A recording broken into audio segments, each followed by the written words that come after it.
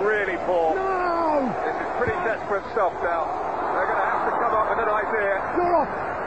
You, on. And this is a bold idea. You never know what your child will become. Tuck him behind the number nine and play your own game, okay? Go on, my son.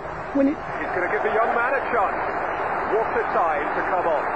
Open his Child Trust Fund account with the £250 voucher the government automatically sends him, and you can get the ball rolling.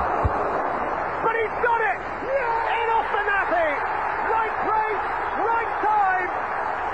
anticipation! Child Trust Fund. What will yours grow into?